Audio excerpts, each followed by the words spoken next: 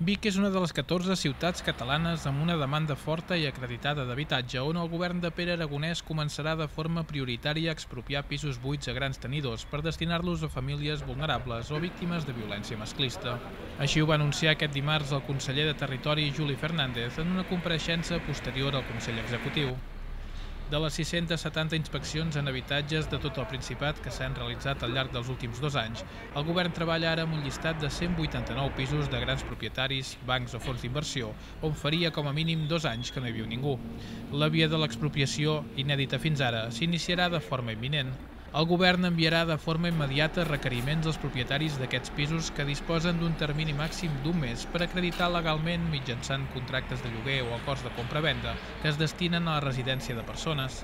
Si transcorregut aquest període no s'ha pogut acreditar, la Generalitat iniciarà el procediment d'expropiació, que pot allargar-se sis mesos més.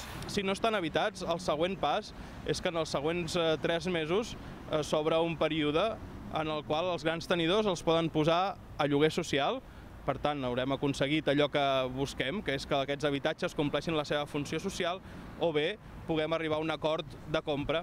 Si això no passa, transcorreguts aquests tres mesos, arribem a l'expropiació eh, del títol eh, habilitant, eh, de manera que la Generalitat de Catalunya, a través de l'Incasol, passa a ser-ne el propietari i els posem a disposició d'aquestes situacions de mesa d'emergències o de violències masclistes. Una mesura que la plataforma d'afectats per la hipoteca valora positivament, però amb matisos. Lamenten que només s'apliqui a 14 localitats. En aquest sentit, proposen que s'estengui a tots els municipis de més de 15.000 habitants. Hem de comptar de que solament a Catalunya hi han 3.500 pisos pendents a les taules d'emergència. Valorem bé, però necessitem que això es posi en marxa ja i que tingui consciència el govern que estem en un punt de crisi total de la vivenda. Centrant-se en el cas de Vic, l'única d'Osona on el govern té previst començar a expropiar pisos buits de gran tenidors, Domínguez assegura que la mesura serà del tot insuficient.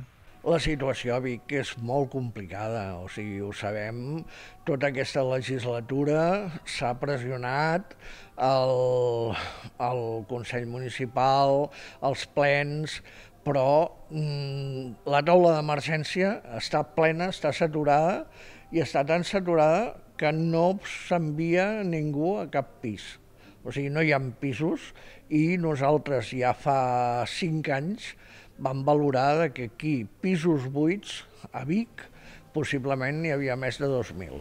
Asseguren que cal ser prudents i esperar els fets, ja que els anuncis en període electoral poden quedar-se en el no-res.